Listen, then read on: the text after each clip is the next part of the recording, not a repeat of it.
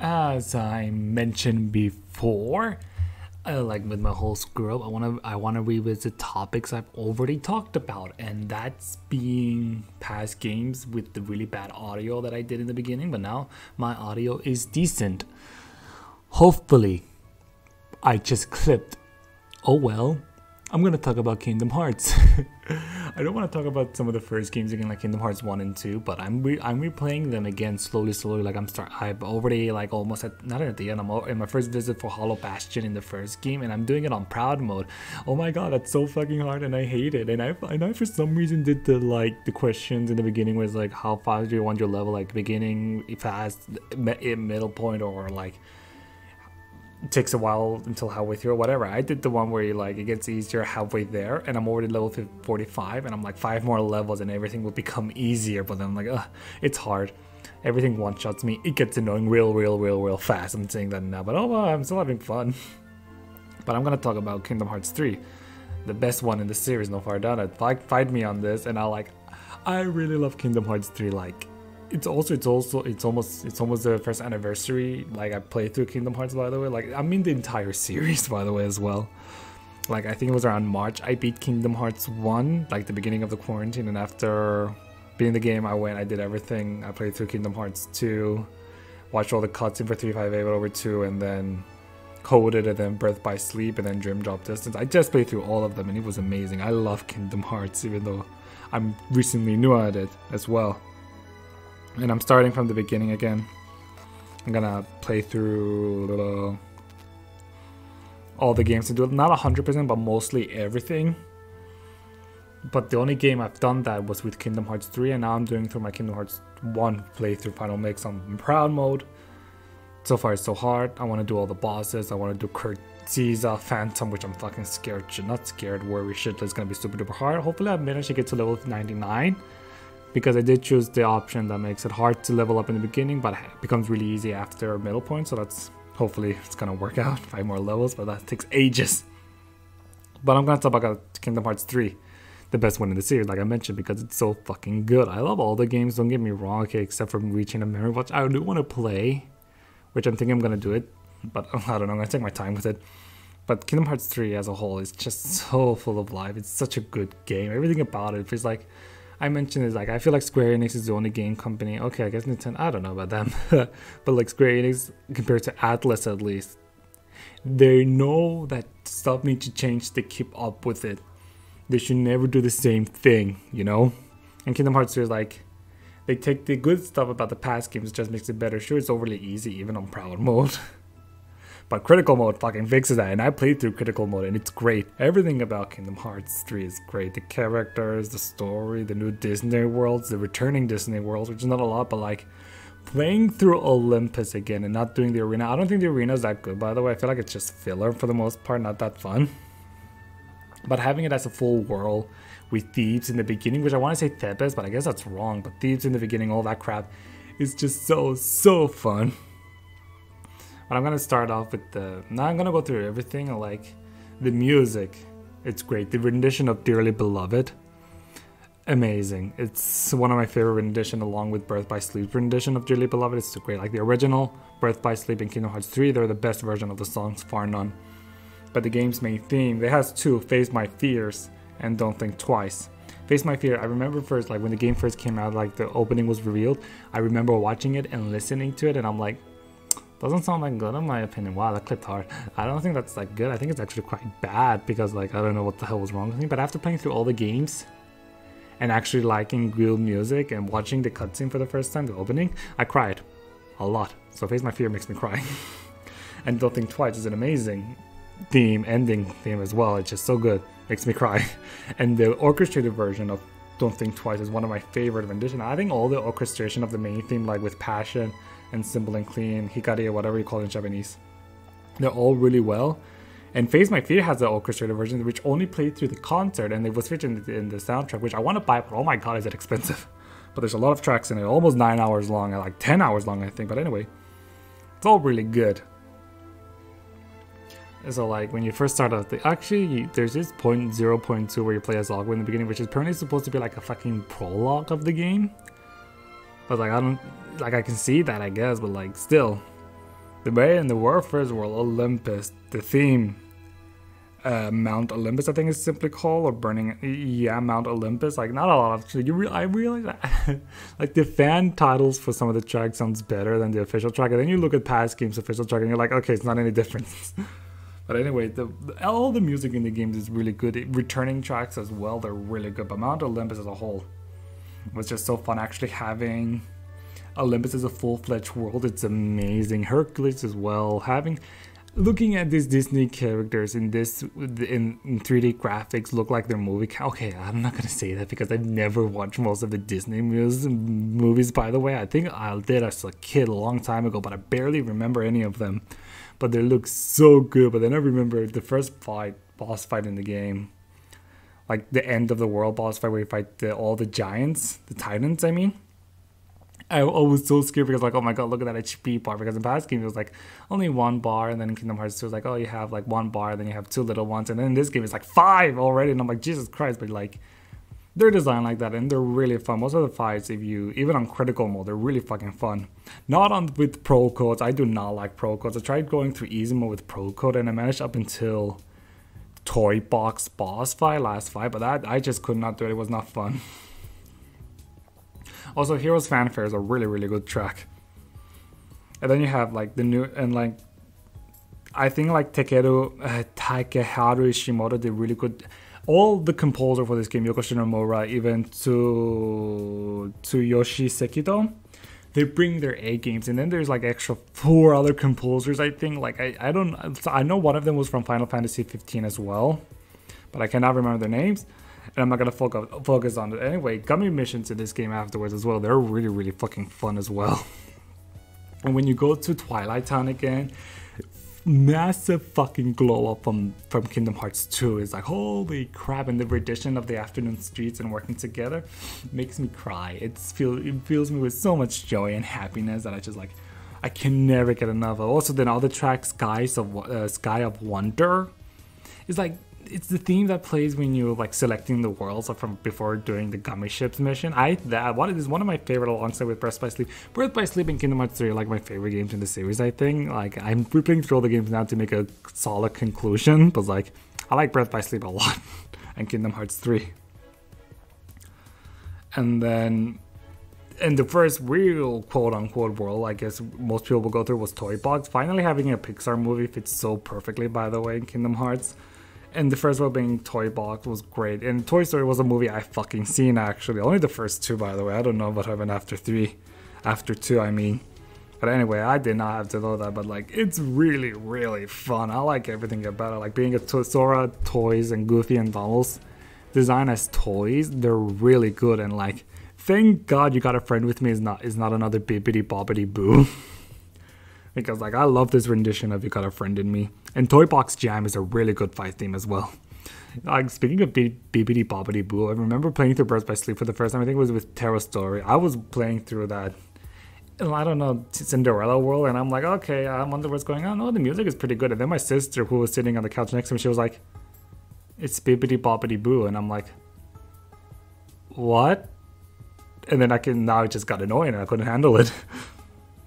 But since you got a better friend of me is a better track, it's like it's okay. I like I remember when I was playing through Kingdom Hearts 3, sometimes I let the title screen go and do my own shit, like make coffee or something. And then my mom was like, Yo, this track, the music in the title screen is really fucking good, especially compared to the other game. And I'm like, What other game? And I'm like, Oh yeah, it's Bloodborne. I can't blame her for that. I love Bloodborne's title theme by the way. I think it's really good. And then another thing I love about Toy Box Jam is the minigame. Like each world has minigame. I'm not talking about Flantastic, the seven plants, which I absolutely love by the way. I love their themes as well. The Flantastic theme is so good. But each world seems to have its own minigame. And for Toy Box, it's this weird mecha beat them up. And there's a new rendition of Shrouding Dark Clouds. I love that rendition so much. It's so good. There's so many remixes as well, like the Corrupted, one of my favorite battle themes from Kingdom Hearts 2. There's like two different versions of it used in this game, and it's so good, especially. Or is it just one? I don't remember. I think I'm getting confused with Tension Rising, which is also a really good theme as well. The Angelic Amber is also like really, really fun. I love her design and everything. And oh, another fighting like the King of Toys. He gets his own unique battle theme. I think it's called Skyward Striker. And for me, I'm, I'm trying to figure out if it's a remix or not because like I only played through most of the game once. So even if it's some leitmotif, I don't realize that until later on until someone finishes it out. And then the next one being based on Tangle, which was another movie I watched halfway through. I have no idea what happens in the end, but the game spoiled it to me, so I'm almost okay with that. But the theme Happy Hair Day brings me so much joy. I love the xylophone in that song. It's like it's so nice. And then you have Swinging Free, having uh, what's her name, Rapunzel and Eugene. I forgot his fake name, Richard. I think I don't know. Having them as a party member. Also, you have uh, Woody and what's his name? Woody and that rocket ship guy. Oh well, they're having team members all from Disney movies and not having to use and not have to putting away Donald and Goofy was such a massive goodly change. It was amazing and he like thank God for that. Also the rendition of Rowdy Rumble used in this version in this in this world is really good. This mini game uh, the one with dancing. I don't like. I love the music on. I thought the minigame was adorable. The different re- reactions Sora does with his environment and with the people he's dancing with is so cute. Like Sora in this game is adorable. I love him. Even Donald and Goofy get good character action in this game. It's fucking weird. And I think it's the first time you hear Anger Unchained. It's used for Mother Gothel. Also, Mother Gothel is a piece of ass. Holy crap, out of all the Disney villain, why does she look the most fuckable? Answer me that. Anyways, the first time you hear Un- Anger Unchained, it's such a good track, by the way. It fits the moment perfectly. And and and the Heartless design in this game, like the bosses as well, they're really, really, really, really, really, really, really good, man. And another, oh yeah, speaking like the next world, I think you go through the different section now. Anyway, before that, going through the gummy missions again. The boss, one of the boss theme, Lock, Load, and Blast is one of my favorite tracks in this game. I love everything about it. And I thought it was composed by Yoko Shimomura, but no, it was actually done by Tsuyoshi Sekito. That guy always impresses me. He also did Majestic Wings and Dream Drop Distance, one of the best fight scenes in video game. The next world is most likely Monstropolis. I mean, Monster Inc. world. I love everything. It's, it's another movie I've seen as well, so it made it so much better. I remember watching it like the DVD I had as a kid, and I used to watch it with my sister. So fun. But everything about Monstropolis is so great. The fact that it's another continuation story, like with Toy Story, like its own unique thing. I love it. And the theme, Monstropolis Now and Monster Smashed. Again, amazing tracks. It's so cool. An interaction with the organization Vanitas and with Sully absolutely hilarious. Out of all the game, this is the game that made me laugh the most, like out loud laughing as well. And the rendition of Unforgettable as well is one of my favorite rendition of that song. I did like, I think I still prefer Birth by Sleep version of it because the violin is more noticeable in that version, but this version used in the game is so good.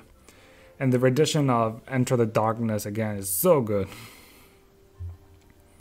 Oh, also, it's the fact that the organization member actually get the personality shown, even if it's for a little bit, compared to the Kingdom Hearts 2 counterpart.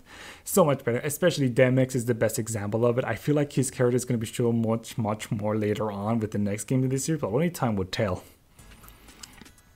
But like everyone gets, like each organization member, everyone gets a little bit of time of day to get like the appreciation, except for Kairi. She got fucking massively shoehorned in this game, but like, oh well, Remind sort of fixed that, I guess.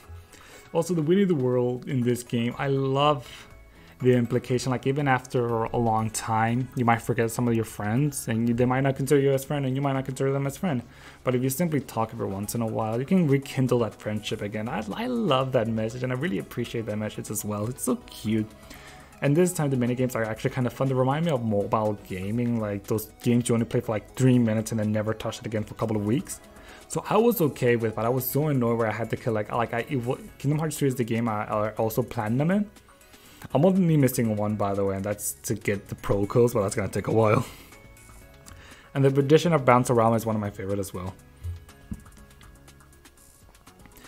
And it's, and it's good. Like it's short as well, and it's sort of contained in its own area in the afternoon and twilight time. But seeing Merlin again was cool. And we also have Frozen now. Ar- Ariandel, Arendelle, I think it's called. Not, I can never pronounce it.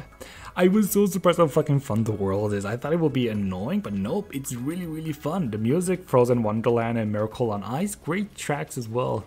I love the interaction Sora and Donald have in this world. It's so funny. And the fact that the Square Enix flexes, the fact that they can do Let It Go, that was just amazing. and it was, and again, I haven't watched Frozen actually, so hearing Let It Go was such a trip because like I've never realized it until I played the game. Like, oh yeah, I've never actually listened to Let It Go. So like, hmm, it's good. I want to watch the movie now, but again, I guess that's the point of the Kingdom Hearts game to make you watch the Disney movies. But the thing is, I don't have Disney Plus where I'm from, so it's like, ah, you suck yourself over, Disney. In this game's minigame as well, the weird slide one is my least favorite one. It's not bad like Kingdom Hearts 1 bad minigames. I was like, this is not fun at all.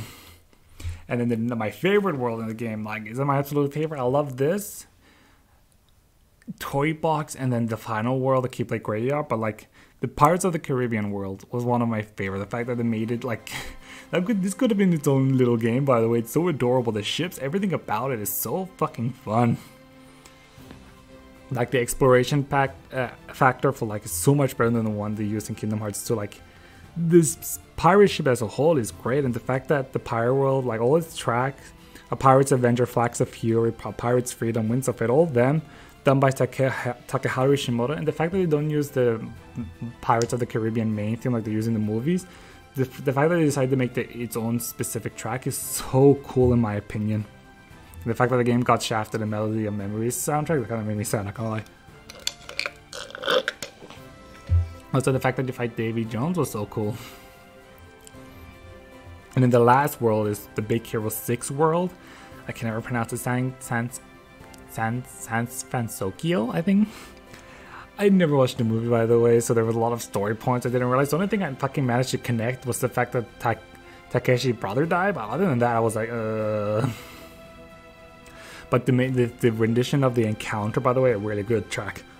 But and again, Takeharu Ishimoto does a really good track like AR argument, uh, argument, augmented rhythm, Robot Overdrive. I love the track in this game's world minigame, the Flash Tracer, one of my favorite ones. It's just like, it's fun, and, and I'm surprised how fun that game is.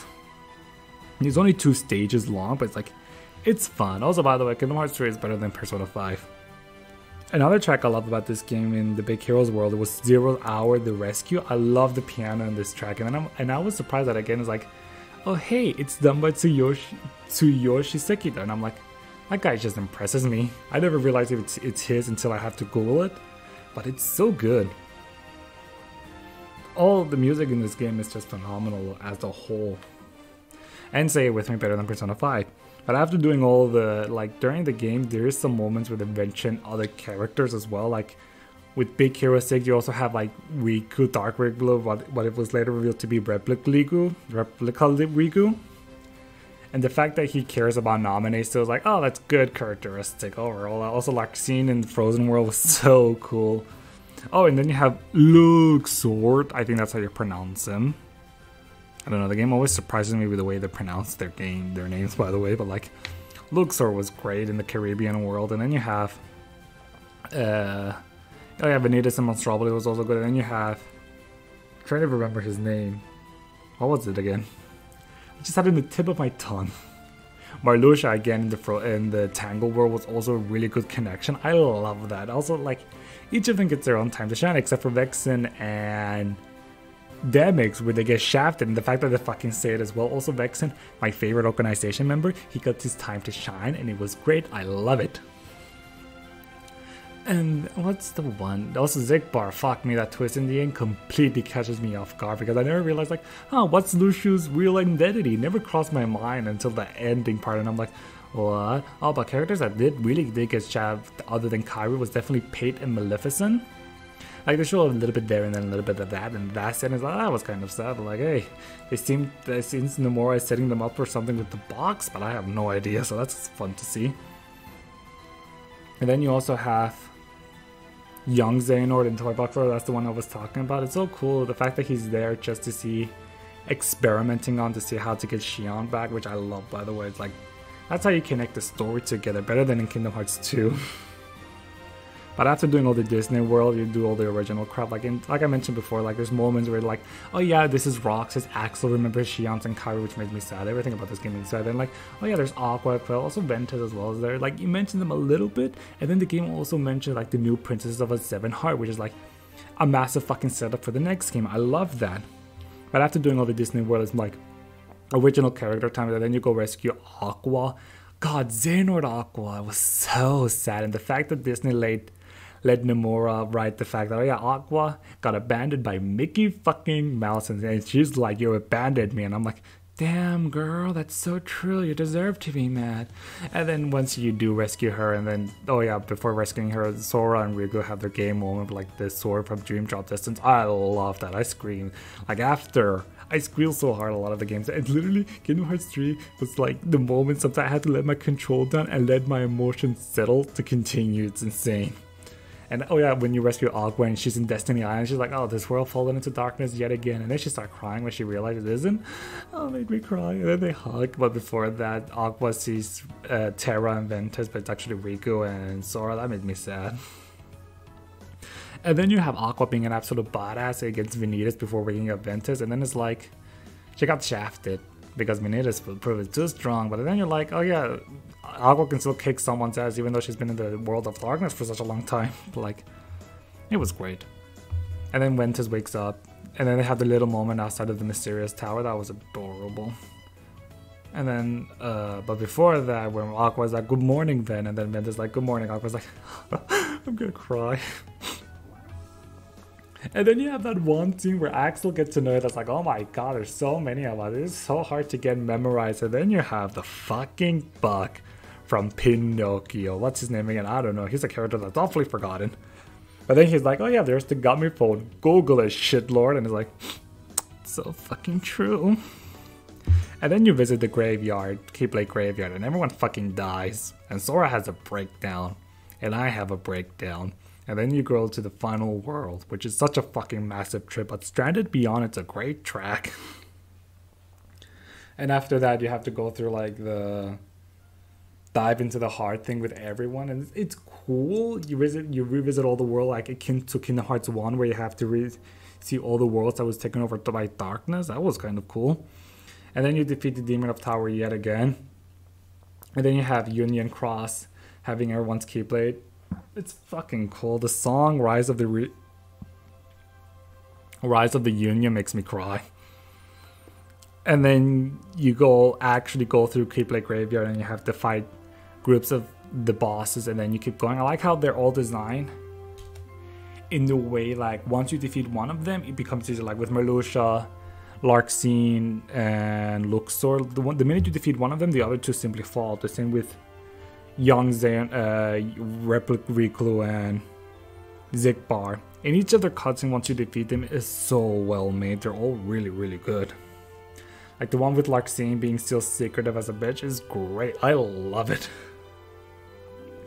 And then again you have Xigbar Cycle, like, oh, you think he disappeared like everyone else, but JK, it was a it was a ruse. I got fucking bamboozled by him so many times, you won't believe it.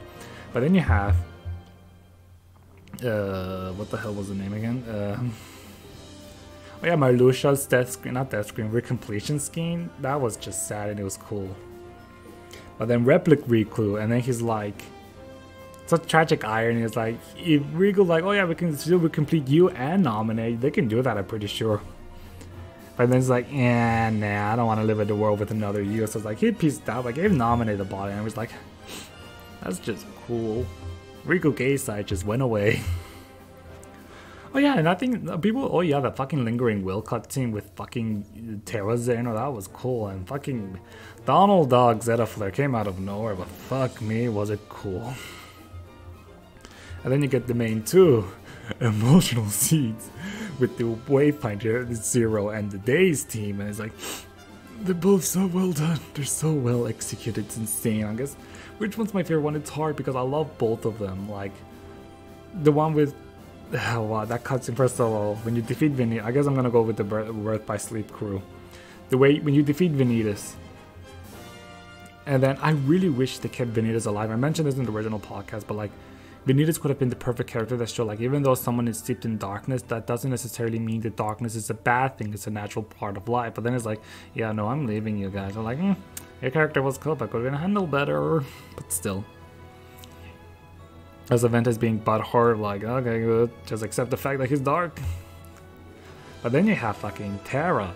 That scene where Terranord still, like, Terra, uh, Xehanort is still in his body, and then he just chains up Aqua and Ventus, and then puppets it around like fucking toys on string was so fucking gruesome, and it was heartbreaking. But the music, the fact that it starts with Destadia, and then it, and then it goes to Terra's theme, that was just so good. And then you have the Guardian behind him breaking free, and it's like, oh my god, it's so good. And then you have them crying and hugging, and that makes it even so much better. And like the fact that they show the characters crying, first of all, was just amazing. It's like, holy crap, you will not see a Winster game do it. The only time they fucking show characters crying is like when someone dies. And they think like, oh, the only acceptable time is someone dies. But nope, being reunion with your close ones again, that kid, that's a good and as reason to make you cry.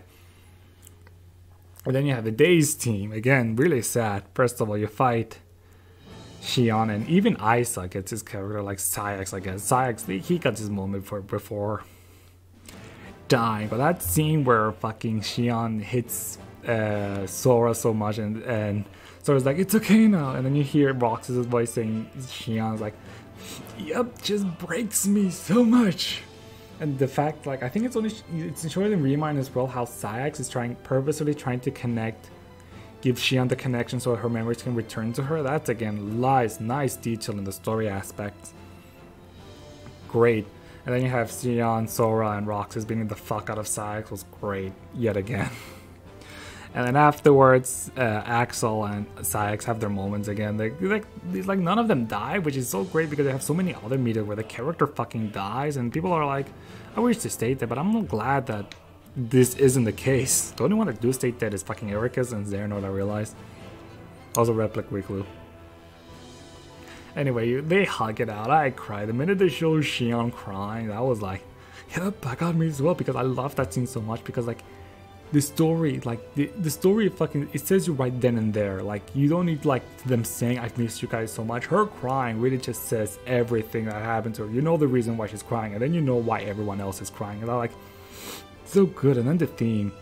Hearts as One is officially track. It's amazing, but the fact that the soundtrack is still missing some themes, like by the way, like there's a five minute cutscene of the all the sequence that goes on with the day's team, but that's for some reason cut into a two and a half minute one. It's like what the hell? And then you get the last fight in the Keyblade Graveyard, and you have like Young Xehanort, Ansem, and Xemnas. That's just amazing. Froza Finale. It's just a great ass track. Everything about it is so cool. H. And again, it's perfectly designed as well. Like the minute you defeat one, they all fall like domino, and it's great. And the scene with Ansem afterwards, like I love Ansem, the Seeker of Darkness. I love his character. Like after he's been defeated, he's not butthurt or anything. It's like, go seek your answer. And I'm like, you're a cool dude. You're still one of the sexy pieces of ass. Avnus was okay. It's like, oh, you feel emotion, it's loneliness. Well, that's just sad to you, I guess. And then you have Young Xehanort being an absolute dick, which I can appreciate the balance. And then you go to Skyla at Kylan because Kairi fucking dies. I forgot about her, by the way. Anyway, you go to like Kylam. I love the theme edge of existence, even though you hear like for like five seconds, and then you have the replicas coming out of nowhere, scaring the fuck out of me. And then they turn the, the sky red, black, and then you have this weird symbols. I'm like, I'm not scared at all, but they're fucking see that easy because for some reason they all share the same health bar. So like one thunder and they're dead. Like shot locks in this game are fucking broken, especially the ultimate Keyblade one. But I do like you can see the Daybreaker town underneath that. I have no idea what the implication is. I am trying to keep up with the mobile game, smartphone game story, but there's so much that goes on to it, not gonna lie. And the final boss thing, there's like three of them, Replicas, Critical Crossroad, and Dark Domination. I love Dark Domination as well. People seem to don't like it, I don't know why. I think it's a great final boss theme. And Xehanort as a whole, I love the keyblade design, by the way, the final keyblade. I think it's cool. But anyway, everything about it, the fact that it's with you and with Sora, Donald, and Goofy, it's like that's how you end it, like in the first game. And the fact that it shows like, oh my god, Sora fell, he's dead, and then you have Donald and Goofy call out his name. I cry because they're a really good friendship. They have such good stories. Like it's insane how good their friendship is, and it bugs the hell out of me because it's so good, it's well written. And you have the final scene I cried so hard because I thought Eraqus was dead. I did not expect him to come, but he was in Terra's heart. I cried so much because like finally the Wayfinder trio have their last moment with Eric as they huck it out. Eric is regretting his decision as well. It's like that's so sad. But then him and uh, him and Xehanort accepting fate. Like fuck me, Xehanort defeated. He thought he could keep going, but Eric is like, dude, this is just pathetic. And it's like, yeah, I guess so. I think they both died. That's just insane. It was so sad. And then you have Kairi still gone, and then Sora's like, I'm gonna fucking find her. And Mickey Mouse is like, no. And then Simple and Clean plays. And then I cried. And you see everyone living happy. I was like, oh hey, they're nominated. And then you fucking have Don't Think Twice play. I cried so hard. And then Sora disappears. I cried even harder because I had no idea what the hell happened. Oh god. So good. And then you have the weird fucking epilogue scene. Like, I try to remember, like, I think it's with Masters of Masters as well. Like, who the fuck is he? Do we, like, is it an original character? Or is it someone we know? People say it's Demyx, but still, I have no idea. It's so much crossbar. Then you have Yozora. But then you do the Remind DLC, which explains everything. I love the Remind DLC. Everything about it was so cool. It makes me cry even harder. and then you play as Parable Kairi as well, which was just fun. Like, her moveset was great, but then you can play as Roxas and Aqua and then Riku. Then you played them before. It's still fun playing them again. But after you did the Remind scenario, then you actually have less explorable Scala ad Caelum. Again, it was really fun. But then you get to the limit cut where you can fight the 13 Datases again. They're really good. Also, by the way, the Caverns of Remembrance remake is really fucking good. Tsutsuyi, I forgot his name, and Sekito did a great job either way. Even though for some reason it didn't fucking play the Radiant Gardens, for some reason the chance check doesn't have this Radiant Garden rendition. It's weird, even though it's short, I still liked it anyway. All the fights are really fucking hard, but they're really fucking fun. Like the hardest one for me was definitely Saïx. I knew that because I did not like his Berserk theme, but I managed to beat him. But Luxord one is also one of my favorite. I remember doing it with my mother, uh, playing it, and my mother was there. And she's like, "Oh yeah, the music sounds like James Bond," and I'm like, "I guess it does." That's a bit of one of the moments. Another rendition I really like was the 13 Struggles for Like scene. I love the one, but also like Luxord version because all of them have their own unique fight theme. Like it's remixes, but they're really, really, really made done. And then you have Xion's fight theme, Vectors of the Heaven. This rendition is so good. I did not like the Xehanort, the Master Xehanort's fight theme, but I thought it was okay. Also, fuck me, that Mickey Mouse scene where he, where he defeats the replicas in the Key of the Brave. A great fucking track, by the way. I cried. Literally, I will listen to the soundtrack, I walk down the street, and then you see me start crying because of the music is so good. And then you have Yozora, Yozora, oh my god. The minute I beat him, I screamed so hard, and my sister was like, You have damage. And I'm like, Oh, I don't care. It's so good. And it really makes me excited. Like, after playing through Kingdom Hearts 3, even though I was satisfied to the point where I beat the game on normal, critical mode, on proud mode, I had I got the ultimate. I had to fucking get the ultimate twice, by the way, because I like the only way I could have done the 13 data battle was doing ultima weapon because like it's hard, by the way. Think everything about Kingdom Hearts 3 I love because it's a natural progression of the series as a whole. I love all the games like I mentioned, but like Kingdom Hearts 3 since it's the most modern one, hell, it just did its two year anniversary just a couple of days ago. As a whole, like this is how video games should be. They should always try something new, and Kingdom Hearts 3 does it perfectly. And I am excited to see where this series is headed to. But like I did the good thing ever. Be like I, I remember the game came out, I was interested in playing it, but then I realized I will appreciate the game much much more if I play through the original games first. And the story so far package is like a great fucking price, by the way. And it's like, I, I'm glad I did that because I appreciate the story so much better. I do want to play, like, I did, I did.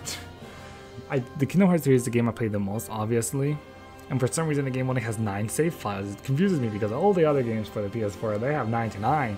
I'm like, oh well. It's annoying, but everything about it. Also, the fucking uh, cooking minigame was so fun. Stupidly fun. Everything about Kingdom Hearts 3 is great, better than Persona 5.